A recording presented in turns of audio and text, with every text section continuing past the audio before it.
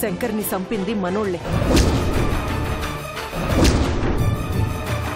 నిజంగా ఆ వైదేహికి అల్లుడు పోయాడని బాధుంటే ఆడి గురించి తెలిసిన వెంటనే పరుగు పరుగున ఇంటికొచ్చి తన కూతురి జీవితం బుగ్గి పాలైందని గొల్లు గొల్లున మనకంటే ఎక్కువ ఏడ్చేది.